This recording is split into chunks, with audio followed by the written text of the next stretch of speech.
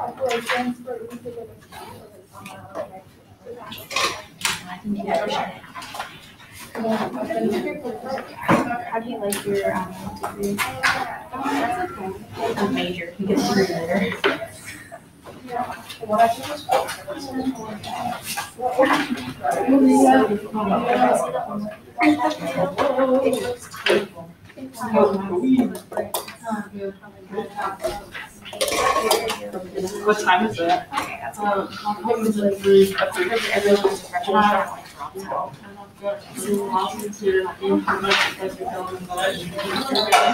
Yeah. Have a meeting there, yeah. And you're at six and Hi, sorry, I'm going now. I'm just trying to scare you. Just a little bit, sorry, just trying to scare you. Probably.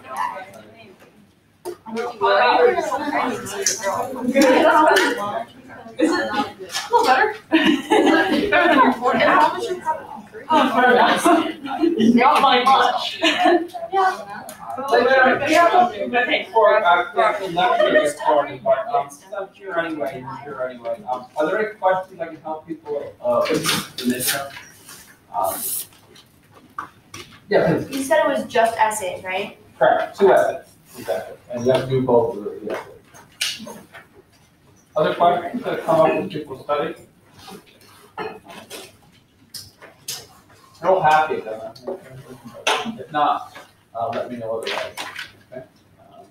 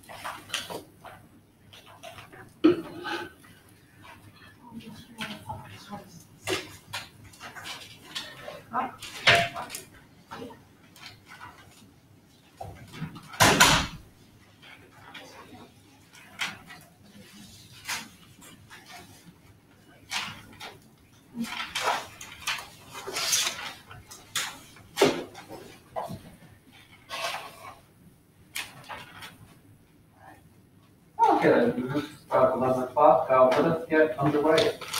Uh, so this is, uh, the last session of the first third of class, and today what we're going to be discussing is uh, the Persian Empire. And, uh, it, it, we have, of course, seen the Persian Empire very briefly before, uh, but you have to be very cautious when you look at Greek sources, because as we've seen previously, we've only seen the Persians as the enemy. Uh, and today we're going to try to, uh, our best to sort of learn a little about them on their own terms. What the Persian Empire is, is a series of different uh, families that would dominate a vast region. Uh, and uh, what I give you here is uh, the largest extent that the Persian Empire would enjoy. which, um, again, really an area that would extend all the way from Egypt uh, to uh, uh, India, and basically encompass all of the ancient Near East as part of the same empire, and really quite a lot more. And in fact, this uh, empire, when it was at its height, was much larger than any of the empires we've talked about previously. Uh, and uh, this is going to create all sorts of new administrative headaches and size, It's not always necessarily a good thing. Um, and uh, really is in terms of the, uh, the, uh, the territory under its command, the, uh, uh, more than eighteen hundred miles across, uh, every form of, uh, landscape you could possibly think of, mountains, jungles, deserts, um, it was all here in the Persian Empire. Uh, and the, the population will go up to as many as thirty-five million. Uh, so for the ancient empire, this is really just huge in size. Uh, and of course, as we'll see, um, uh, this is uh, an empire too, uh, like many of you see, uh, that it projects power left and right. Uh, but it has to deal with, again, these sort of problems of bringing all these different peoples together as part of one empire. Uh, and uh, this is, I can show you this one image in particular because um, this is one of the image from uh, one of the, uh, the palaces of the emperors, Persian emperors. It shows people of different ethnicities who really the only thing linking them in this image is that all of them are required to bring stuff to the emperor. Uh, that is what brings them together. The fact that they're required to give over a certain amount uh, of their money, but really, in fact, there's very little else. Uh, but uh, one of the things the Persian Empire is known for is bringing together people, uh, some of whom were living in it, others who just come for trade as well. So it becomes this sort of uh, this melting pot of peoples all together. Um, it is impossible to talk about the Persian Empire just uh, listing facts about it. And uh, in fact, through its long history, it's going to undergo a lot of different changes. So the easiest way for us to discuss it is to break it down uh, into what we refer to as dynasties. Before, uh, dynasty is simply a ruling house, a family, uh, and how they chose to run the empire. And as we'll see, there really are some distinctions uh, over the course of its history. All right, start, starting with the first of these four dynasties, known as the Achaemenids. And uh, uh, the uh, person who launches this new imperial uh, venture uh, is this person here. As you can see, this is a rather fanciful image of him. Uh, he did not, in fact, have wings. Um, but this is the man known as Cyrus. Um, Cyrus himself comes from this mountainous region in what today is Iran. In fact, Iran uh, is the, really the, uh, the initial spot where the Persian Empire begins to grow. Uh, and uh, even today, uh, it, uh, there's pride sometimes in the accomplishments of the Persian Empire uh, in, in Iran. Um, the strange part about Cyrus is that uh, no one initially would have confused him uh, with being a- an emperor of a major empire. Uh, and uh, he really comes from this region in which, I mean, most people who lived in this area were shepherds. So we're talking about someone who did not initially come from a powerful area. Uh, and really, um, initially, we just think that he was a local tough guy, a warlord, uh, who would beat, beat up on local people, force them to recognize him, and uh, he slowly begins to gain this following of people who will do his will.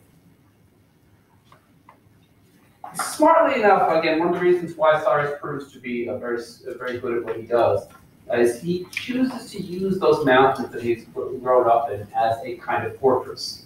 With the very simple reason that trying to invade a fortress is suicidal. So he has a virtually impregnable base uh, to be able to do all these raids from.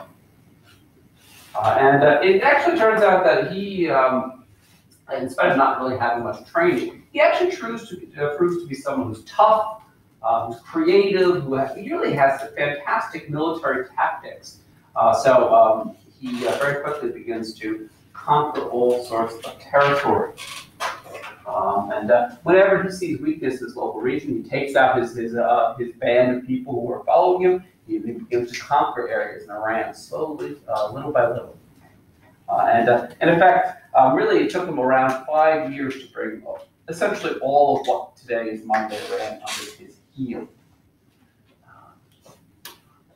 Uh, and this is a, a slightly later image than Cyrus was this height, but this is just an image of uh, some of uh, the kind of warriors uh, that the uh, Persians had.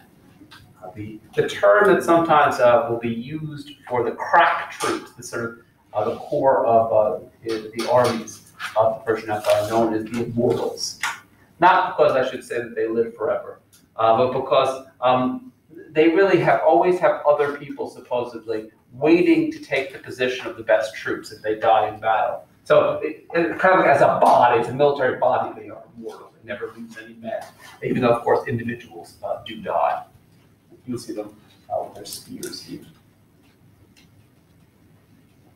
Um, we see then, uh, and I, won't go blow by blow, but it's fair to say that Cyrus's lifetime uh, begins to form the core of uh, this new empire.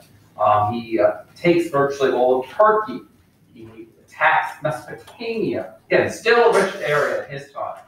Uh, areas what today is Afghanistan, Egypt. All of these things, uh, all these areas begin to fall at the feet of his army. And so, really, um, in a short period of time, Cyrus goes around 20 years from being this really this small-time guy who had uh, had a really cool mountain fortress uh, to someone who really now is beginning to look a lot more like a king. He's uh, has so much territory under his control. And, uh, and in fact, um, Cyrus is, um, he had such good control that even his successors, most of which were not as gifted as him, uh, could hold on to a lot of territory for a long time. Please. So you talk about how he's such a fantastic military leader, but in the source that we read yesterday, that was about King Cyrus, correct? Uh, today. No, not for, um, you're thinking about, um, the, the ones for Alexander the Great or? No. No, the one that we read for today. Cyrus Um, of Persia? I think I just had images, which I know. No. No, No, there was, there was way material. I have to check my own syllabus now. Um, let me, let me review, I, I I honestly, um, I wrote the syllabus so long ago, I don't remember the exact syllabus. Uh, It was about, I don't remember the title, Yeah, yeah. but it was about how like he would go into like the specific area and he would want to befriend them and then like repair um, like the labor and different buildings that were dilapidated. And it just seems like he came across as like, oh, I want to befriend you and I want to make peace with you, rather than being like Oh, oh, no, that's, military warlord. uh, this is a, I didn't know the source of thing, you know. I mean, this really, really speaks to the fact that how clever he was in a certain sense, right? I mean, if you can befriend people to death, uh, then it's much easier than having to, to kill them. Uh, I mean, I, I, there, I, I'm glossing over this because I think that really the fact that he had military muscle is the reason he was able to take these regions. But uh, that's not to say that I don't think he was smart. He knew what he was doing. But uh, I, don't think that vision necessarily um, contradicts the fact he's also very good militarily. But you don't have to, uh, you know, fight people. You can make them think you're friendly. He was still taking taxes from those regions that he conquered. So. In case you want to see where Cyrus's um, final resting place uh, used to be, um, this is uh, his tomb. Very, uh, very uh, ornamented, by the way, for someone who gained as much as in his lifetime. Uh, the one thing that is not in his tomb is goods or um, his body.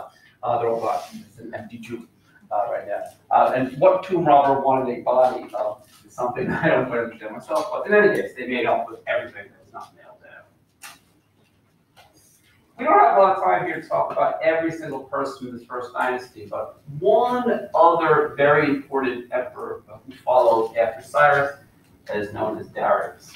Those who play well at home, this is not the same Darius who uh, uh, ends up losing battle after battle against Alexander. Uh, this is Darius the first, uh, third playing against Alexander. People always ask. Um, in a certain sense, uh, we think that uh, Darius was more of the same. I mean, uh, first and foremost, Persian emperors have to be strong. Uh, and so, in, that respect, he holds on and he expands territory. But uh, there are some uh, new things that he ends up doing. Um, one of them, uh, actually, we have a, uh, a, very good idea of the kind of military operations that Darius undertakes because he tells us about them. He creates this fantastic piece of um, propaganda, this inscription uh, that um, is, is on, is carved into the side of a mountain in Iran. Um, so this, to this day, um, Darius is, um, Darius, uh, his inscription itself.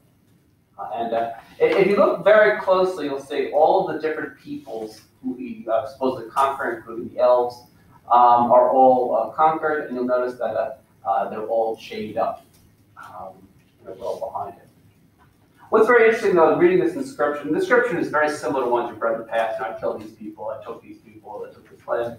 Um, what's interesting about it is that um, he actually brags about taking territory that was already taken, that theoretically the Persians already owned. Uh, which makes us think that at times he's bragging about not really taking new territory, bringing new territory in, but putting down rebellions. Uh, and this actually points to one of the other recurrent features of, of Persian government, which is that it's one thing to take a territory, uh, it's another thing to hold it. And uh, the rebellions were very generally big, and they had to constantly go back and knock enough heads uh, to be able to hold on to the areas. The other uh, reason we talk a lot about uh, Darius in particular uh, is that he really thinks a lot more about administration than previous emperors. And specifically at the uh, the city that we usually refer to, um, right here, Persepolis, uh, which is the uh, which becomes the capital city of the empire in its first stage. And um, even today, if you were to go to Iran and see, not that they're allowed to uh, diplomatically, but um, if you were, you would see that uh, the, some of these vast halls, uh, some of the uh, remains are still there. You can see uh, kind of. So in some cases, by the way, this stuff was rebuilt and put back up again. So um, it doesn't exactly look like it did in the ancient world. It's in the gates of uh, Persepolis. And, at least from uh, description at the time, this was a vast sort of, uh, sort of interlocking area of uh, various um, rooms for administration, for um, the, uh, the king's quarters, the treasury. Uh, Persepolis was supposed to be enormous, and it really was the nerve center of this empire. It beat, that heartbeat. Uh, and uh, again, just as we see with other emperors, uh, propaganda goes up. Kings begin to refer to themselves as inscriptions as being uh, the term they like is the king of kings, which means like the highest king possible. We also think uh, that, um, although again this was the official propaganda, there were really uh, this whole sort of interlocking mess of bureaucrats that were underneath the king who served him and allowed him to be able to do his work. Uh, and in particular, the one that you really should know more than anyone else uh, are these people known as satraps. Uh, and satrap is a Persian term that simply means governor. Uh, these are people who were the representatives of Persians. Um, and uh, they would, um, they would, uh, they would be usually Persian by ethnicity. They would go out to different places in the empire, and there'd be in constant communication with the emperor. Um, and uh, they, would- they would, way, take all sorts of local people to help them with the government, but the highest of people had to be Persian uh, normally. What I like about um, this form of, uh, uh, really having governors is nothing unusual in an empire. Um, what I like about them is that um, there, there's systematic um, disbelief that they're going to prove to be trustworthy. And in fact, on a regular basis, uh, the Persian emperor would send out spies of his own men just to make sure uh, that they were really ruling in his name and doing what he asked. Uh, with the, uh, the attitude, in fact, that if they, if they weren't, then they would be removed very quickly. Um, especially anyone who was thinking about staging a rebellion against him. Uh, so there's, there's paranoia almost in the system. We also think uh, that although again they're harder to see, uh, there's a there's just a coin of uh, the Persian emperor. Um, there's this huge number of different professionals serve the. Uh, they have uh, people who collect taxes, uh, people who collect records, um, translators. Translation is a big deal. But there are people of all different ethnicities, so you need to be able to translate. To tell them where to deliver their money, uh, essentially, uh, but other things as well. Uh, and um, having a gov- government of this size, again, the, the problem is rebellion. The good part about it is that now they have one currency rules this vast territory, Uh, they have standard laws. Uh, they have taxes on a regular basis. Uh, and using those taxes, then you could do things like build roads. They had fantastic roads that snaked across this entire territory. Um, they had, and they, even have a mail service, a courier service. You can get mail from one place to the next. Uh, they made huge work, huge public work projects, canals, uh, iron tools, gold. Uh, we don't have a lot of their gold left, but we do occasionally have some of these luxury items um, that suggest to us that, that they uh, are very skilled in terms of the working with metal, and they like shiny things like old people we've seen so far. Um.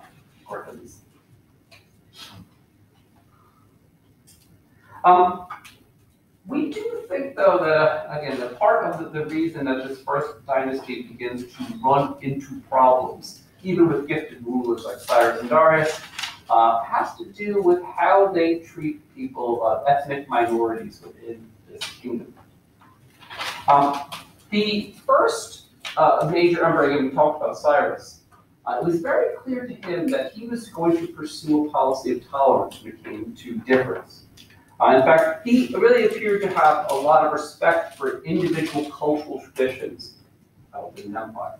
And we know that, in fact, this is actually one of the most famous uh, documents to come out of Cyrus's reign. It's basically the size of a football, um, and it's much to as Cyrus Cylinder. And in it, he actually proclaims that uh, uh, this policy of toleration for, for people who are different. Um, and uh, in fact, that actually extended to religion as well. And in fact, some of you may know that although this is very weird, um, the Bible actually likes Cyrus a lot, although he was probably not someone who generally, uh, the authors of the Bible would have gotten along with well. Uh, but Cyrus respected Judaism as other religions, and in fact, even gives uh, Jews who previously had been in exile money to go back and build their temple again. Uh, so Cyrus is seen as very positive uh, in terms of the Bible. All this, you may think this sounds great, uh, but later, later uh, emperors uh, within the Persian Empire really begin to get rid of this policy that Cyrus had and begin to shift to a policy of greater intolerance towards cultural difference within their empire.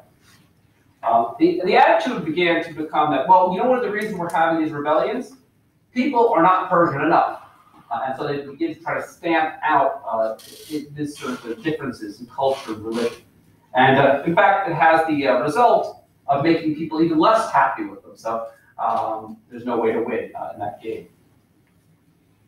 The other problem that the first dynasty runs into is one that we've talked about in this class already, which is to say uh, the war with the Greeks. Uh, and uh, uh, again, um, we've talked about this as one of the great successes of, of ancient Greece, that they fended off the Persians. But from the Persian point of view, the wars against the Greeks were an unmitigated disaster. They had poured so much money and material into these battles, and they essentially got nothing out of it. Um, and uh, in effect, uh, we do think that um, this actually further uh, further ups the unpopularity of this first dynasty because if you're going to have to go to these wars, you have to conquer stuff. Uh, and if you don't do it, uh, people are going to get upset very quickly. Uh, and uh, eventually, in fact, uh, this doesn't mean the Greeks uh, will be in any position immediately to take the Persian Empire. They're still too small and disunited. Uh, but it does mean now uh, that these rebellions that had always been a problem in the first dynasty begin to become very general, and they really sap all the strength from this empire. But when one dynasty falls, another one rises. And now we'll turn to the second of these two major dynasties under the Persians, known as the Seleucids. I'm not going to talk much about the fall of the first dynasty because we've you've read about it now a lot. In fact, if if a really uh, um, there was already a rotten door in this first dynasty, the person who kicks it open and makes the entire house collapse uh, is Alexander the Great. Um, and uh, he really basically, you know, by war, of course, ends up destroying the first dynasty for good. Uh, and uh, while he's doing it, of course, uh, we've already read, uh, one of his most infamous actions, he will actually march to the capital city of the Persians, Persepolis, and set it on fire. Uh, which at the time seemed like, wow, this is really cool. Um, afterwards, though, satyr heads began to wonder, like, we could have actually used this as sort of a, a capital. I, I don't understand why we burnt this. This was perfectly good. Um, so it was really kind of a foolish move in retrospect, but it does show you just how, in some sense, rash Alexander was. He didn't care about those after that, you know.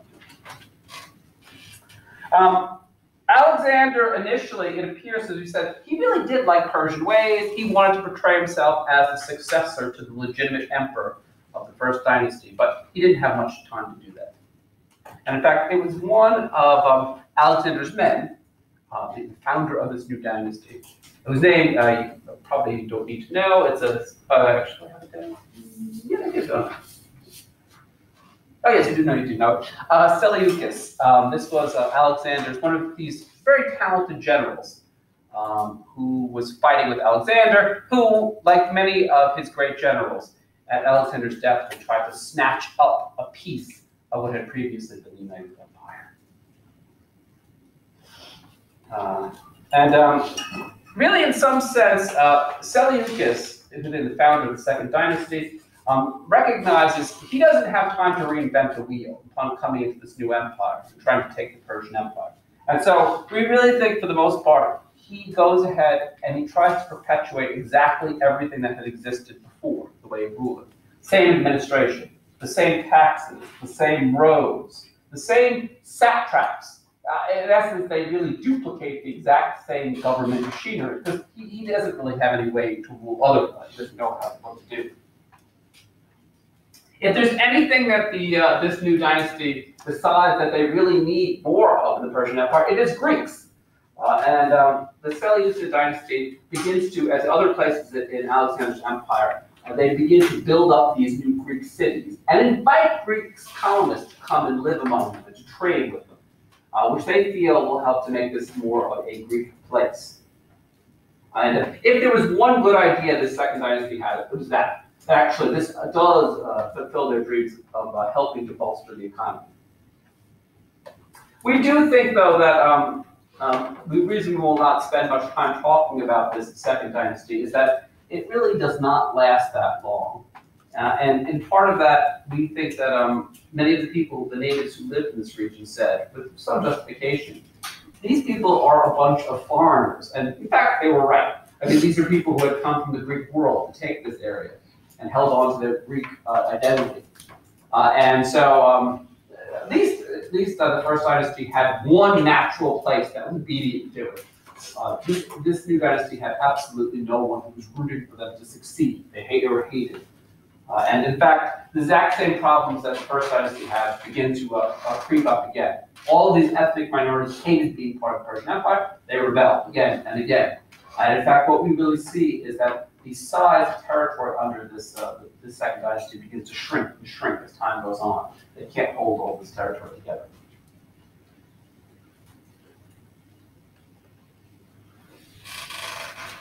All right. Uh, I've said it before, I will say it again. Uh, when the dynasty falls, yet another rises.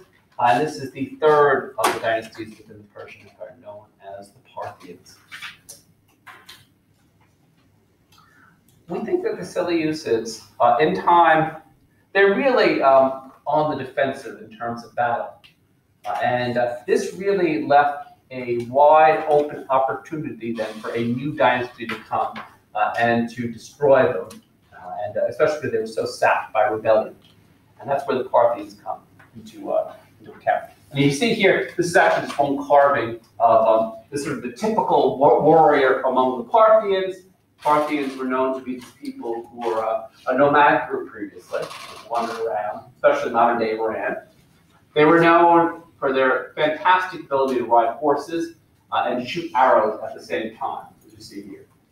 Um, their, some of their battle strategies revolved around that. Um, we think that um, the Parthians, sensing that there was blood the water essentially, uh, begin now to, to come together and begin to seriously uh, to, to knock out the Seleucids from competition. And then they turn around and begin a conquest in their own name, uh, that they are going to be the new rulers. Uh, interestingly enough, by the way, one of the first regions they strike outside Iran is Mesopotamia. Again, this is really a rich territory. You have to get that as part of your empire. There's more uh. The weird part about studying the Parthians is that they actually do now, they're going to be now empire rulers. They're going to rule this vast territory. But one sense is that their heart was never really in it. Um, in some sense, again, when you're when you're used to talking about an empire, you're used to having a very strong central figure, an emperor, whoever that rules with an iron fist. The Parthians, they started as a nomadic group with a bunch of basically tribal leaders who would come together, and then they would say, "Okay, what should we conquer next? You know, let's get all our people on board." Um, so much more of a, a government that was spread out, not one that was concentrated in one person uh, which makes sense if you're a nomadic group. It makes a whole lot less sense when all of a sudden now you are uh, actually staring at this huge empire trying to decide how to run it correctly. Uh, and so, but you still, they, they really do keep this idea that we are a federation of different peoples. Uh, and uh, that's how they ruled the government too. Which I don't need to tell you meant that a lot of their uh, decision making was very creaky to say the least, because they had to collect all these different uh, different people and get them to agree to do anything. Now, you may, uh, one of the big problems uh, that many nomadic peoples suffer when they turn to doing settled agriculture, moving those territories, is they go soft. Um, they're not as strong as they used to be. They uh, fought constantly. Uh, the Parthians, too, though, uh, really subvert expectations here. Uh, and in fact, not all, um, because they never get their hands really dirty with all the business of government, they still have plenty of time at their disposal to train and fight. And in fact, they have um, much, much better horses than they ever did before, much better armor. A part of the good thing about horses, um, I really only learned this this course, is that um, if you feed them alfalfa during the winter, um, then they will remain stronger. Nomadic groups frequently suffer from the problem um, that your horses will grow weaker in the winter because they're not being fed as much.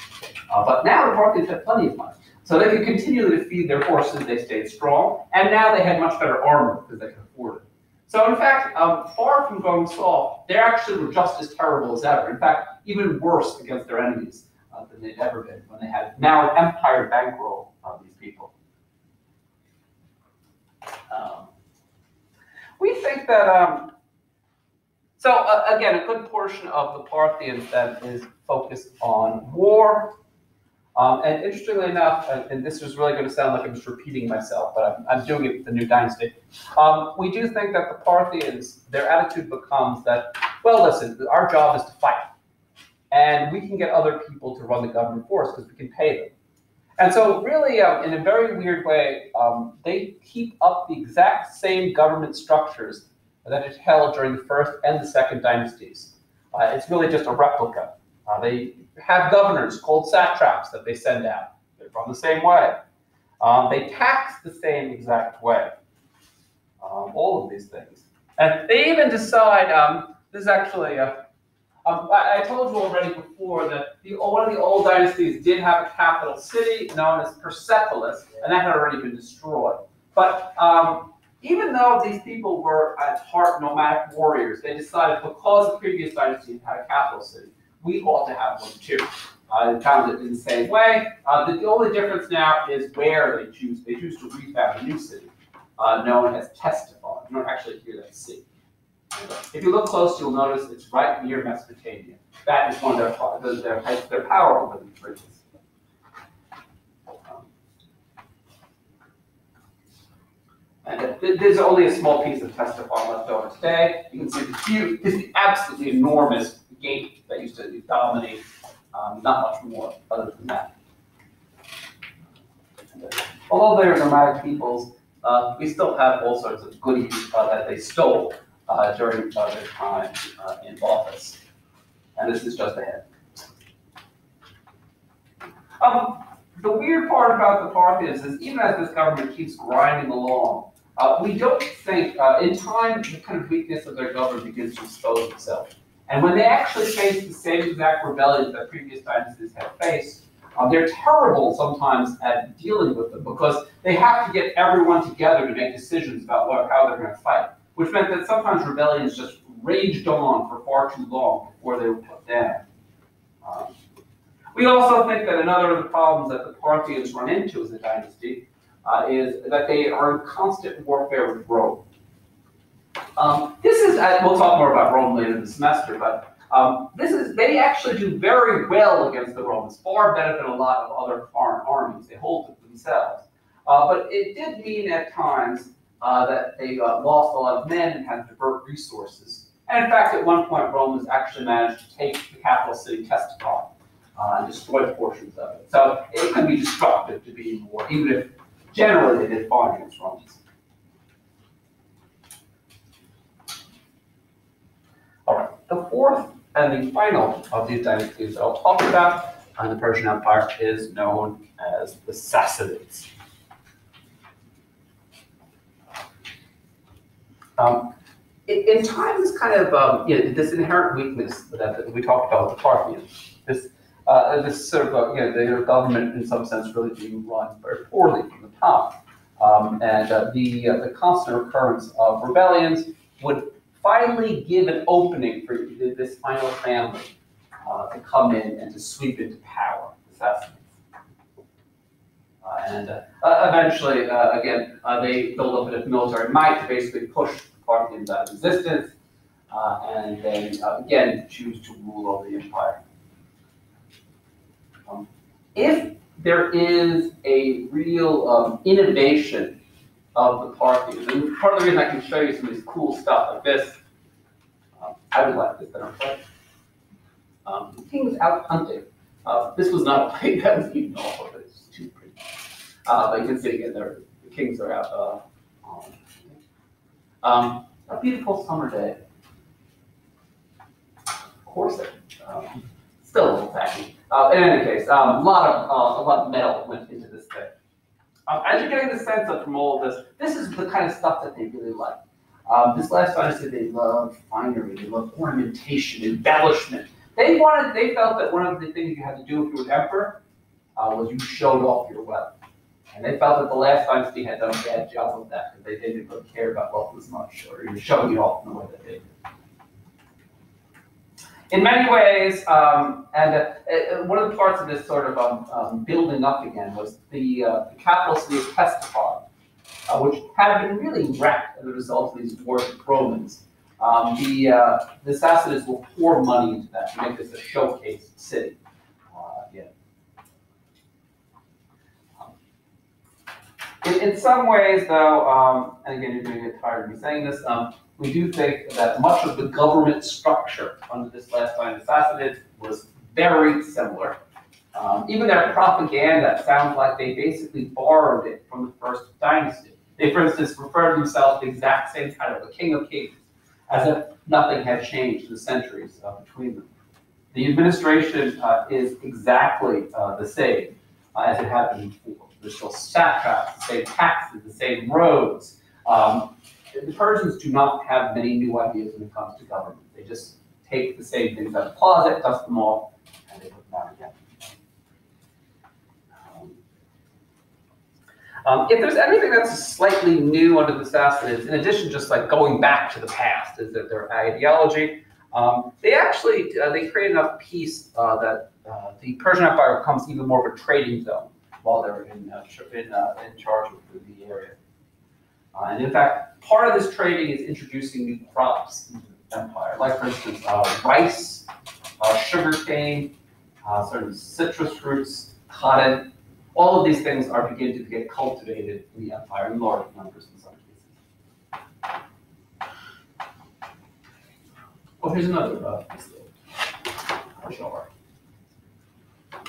If there is uh, one emperor in this last dynasty whom I really want you to know, uh, this is the man uh, known as Shapur I. Uh, and uh, you'll, you'll notice something here. This, this is another one of these ridiculous Persian monuments that's carved to the side of what we'll call a mountain. And you'll notice if you look closely here, um, these are actually two different Roman emperors. Uh, he has, they've chosen to depict in this humiliating position. They're, taking care of his horse for him, basically, uh, is what they're doing. They're stable boys um, and which gives you some idea of what he thought of Roman emperors. Um, Shapur First uh, was like some of the other previous emperors. Um, he really was very frequently at war with Romans. These are his Western neighbors now.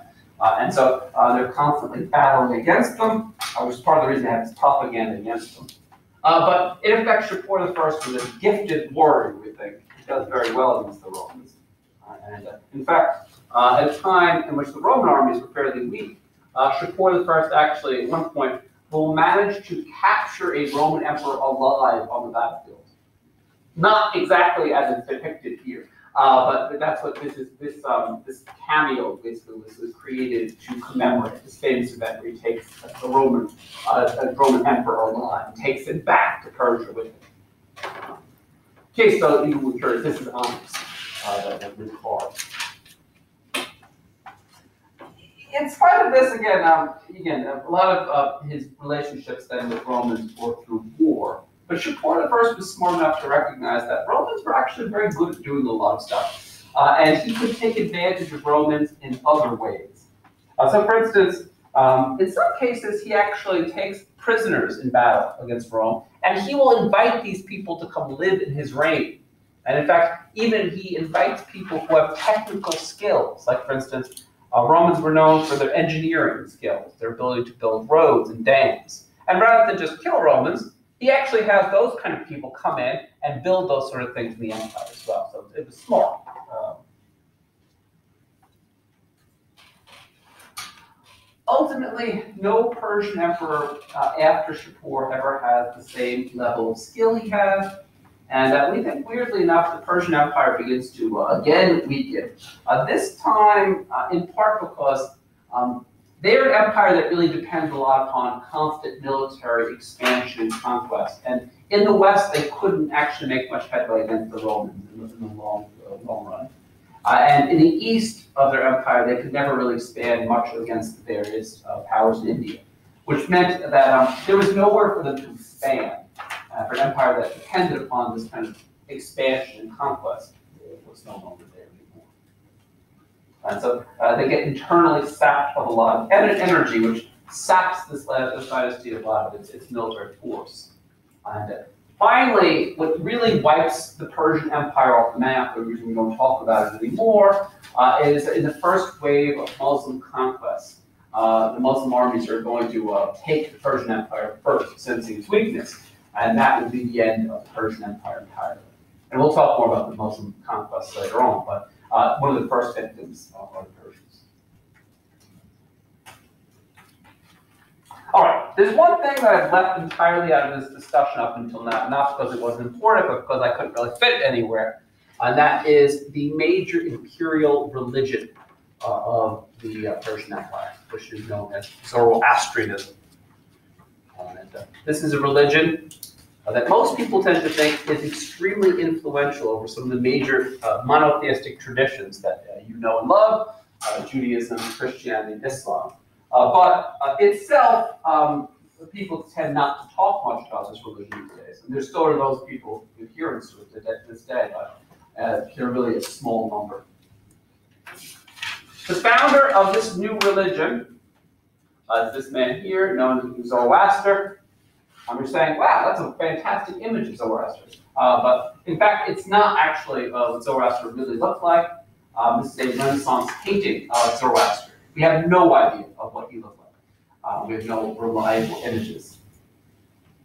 And in fact, um, most people tend to think Zoroaster was a real living human being. But we also have to admit that what we know about his career is really uh, very little. In fact, we need to look at the, uh, the outline have we don't even have exact dates for Zoroaster. For someone who's a founder of a major religion, um, we really don't know exactly. Um, so far as we can piece together from various uh, sources internal to the religion, we tend to think that Zoroaster is someone who's a Persian. He sort of grew up within the empire, in the heartland of it, probably. Um, he seems to have come from a very well-placed family, an aristocratic family. And uh, he may actually have been uh, a priest of uh, some kind of priest from an older religion that had existed in the Persian Empire. Uh, but for whatever reason, and it's not entirely clear, he seems to have been dissatisfied with whatever his previous religion was. And right around when he is 20 years old, as the story goes, Zoroaster will leave home uh, in a search for wisdom. Again, this is a story we've heard before, of course, but um, it definitely happened with Zoroaster as well. Uh, and uh, Zoroaster apparently wanders uh, for around 10 years trying to find new religious wisdom. When all of a sudden, then, um, uh, you know, he, he actually is supposedly struck by this series of revelations uh, that will completely turn his life around. Give him now um, a, a, different role in society than he had previously. Um, we, these visions, uh, so far as we know from, again, uh, people who are believers, uh, was that um, he said they supposedly come from this new god who previously had not been worshipped, a god known as Ahura Mazda, uh, a term that means the wise Lord. And uh, the reason why he was receiving these visions uh, is that Ahura Mazda had chosen him, Zoroaster, uh, to be his prophet, and now it was up to him to spread uh, the, uh, the faith. And that's why, again, we often use the term Zoroastrianism to describe this religion, um, because uh, he's really the, the, person who's at the heart of this new religion. Um, not worship, but someone who was the one who propagated, who spread this faith, start to make as popular as it became. What you want me to tell you at this point was, okay, well, what exactly was this new teaching? What was this new religion?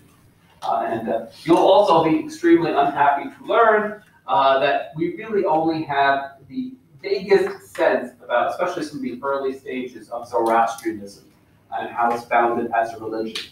Uh, and in fact, um, we do not have all that much when it comes to source material. It's actually very frustrating for those people who want to go back to the origin of Zoroastrianism. We simply don't have that level of source material uh, that will allow us to speak very intelligently about it. Uh, and uh, part, there's actually several different reasons of why our source material is so bad. Uh, part of it is that we think that um, the uh, the way that knowledge was transmitted in Zoroaster was always oral in the beginning. They didn't really feel the need to write things down. There was no uh, really compelling purpose initially. Um, and uh, in fact, um, we know um, uh, we know that it, was a religion um, that really uh, had a lot of hymns, for instance.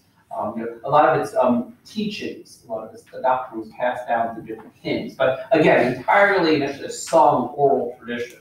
Uh, they didn't the need to write these things down. Um, and uh, the keepers of this tradition, keepers of this oral tradition, uh, was uh, a group known as the Magi, uh, who were the, the priests of Zoroastrianism. If you have heard of the Magi, and probably most of you have, it is because they make a cameo appearance in the New Testament, when of course the Magi will come to, uh, to venerate Jesus. Uh, and the point of this story, and people at the time would have known it, is that you know the um, the knowledge of Jesus had gone far outside the bounds of the Roman Empire. Even these foreign priests were now coming uh, to venerate Jesus. There's a reason why uh, Magi appear there. Um, but Magi themselves are the major priestly class in the Persian Empire. And really, they're very powerful uh, in many ways, they're, and they're also, uh, keepers of this secret knowledge uh, for generations. Um, the other um, reason why our source material is so bad uh, for Zoroastrians is because um, when Muslims come and conquer this territory, they do not look very fondly on Zoroastrianism. And in fact, they actually, uh, many Muslims will later systematically go ahead and destroy Zoroastrian documents and monuments because uh, they think it's a polytheistic religion, they think it's uh, an idolatrous religion. Uh, and that actually has also uh, helped obscure the origins and the early uh, history of this faith. All right. From later documents, though, uh, we can talk a little bit about what this religion is all about. Uh, and first of all, uh, it is fair to say that it is not a religion that is a monotheistic religion. Um, Ahura Mazda is their greatest god by far, but he's actually surrounded by all sorts of lesser gods. the way that Zoroastrians describe it is that Ahura Mazda is constantly at battle uh, with the forces of evil, and especially um, this sort of main adversary, which to us looks like a Satan figure, um, this evil spirit. He constantly is lost in battle. So good versus evil, light versus dark, uh, white versus black. Ultimately, though, Zoroastrians had faith that everything would turn out for the best. And it was believed that Ahura after this long battle, you know, uh, uh, with the forces of evil, would finally manage to uh, conquer evil completely. Uh, and um, uh, at, at this point, then, um, uh, people then would either um, be rewarded with heaven or hell at this is the end time, the final the end, the final battle against evil uh, has been won. And then, in fact, human beings, based upon how holy their words were, their deeds were, they could either uh, they go to heaven or go to hell. And, uh, by the way, all of uh, again, a lot of this imagery, especially that um, the Zoroastrians would use to describe heaven and hell, including uh, the existence of angels and demons. Sometimes that imagery was borrowed very, very closely by, by both Jews and Christians, and even Muslims later on. Uh, so a lot of their ideas will live on if some of those other beliefs, like polytheism, did not. Ultimately, Ahura Mazda is described in the sources as being a good god. He doesn't want people to forsake the world. He wants to enjoy its fruits. Um, and, uh, in fact, um, it's one of the, the, the, jobs you can have in your life is to do those sort of things. You take, uh, take advantage of what's in the world. Altogether, we think uh, Zoroastrianism um, although I, I, realize that today it has become enormously unpopular, or uh, really, uh, for a certain period of time in the Persian Empire's height, this was by far the majority of religion among millions of people.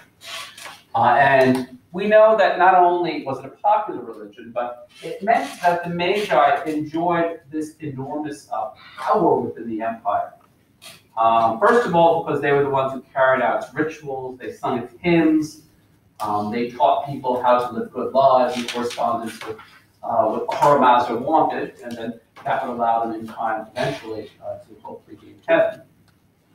Uh, but we also think uh, that uh, the Magi often were advisors to emperors. Uh, some of these important Magi actually helped direct the course of action of emperors. Um, one of the ways we can um, get some sense of the power both that the Magi had and generally that this religion has, is to see that in a lot of the propaganda that uh, Persian emperors have, they actually attribute a lot of their success to Ahura Mazda. Uh, it comes up again and again. And so I'll actually take you back, for instance, to the image that we saw earlier, that if you look closely here, uh, you may wonder what this uh, sort of uh, thing floating here. This actually is meant to be an image of Ahura Mazda here. And you can see he's kind of is meant to be sort of like blessing uh, the Persian emperor uh, here. So in fact, uh, it, there was this sense in many of uh, the monuments that the Persian emperors wanted to very closely ally himself with Ahura Mazda. If you did good to him, uh, then he would in turn reward you with, with military victory and wealth and anything else. Here's another example I showed you earlier, but just to, uh, what this is is it almost looks like they give you a fist pound, but uh, in fact, Ahura Mazda is meant to be sort of conferring power uh, upon uh, one of the Persian emperors. So they're really, uh, in some sense, uh, Zoroastrianism also becomes a very political religion. It's a religion that all the emperors are constantly praying to. It's the religion that have sort of priests who help guide them as well. Please.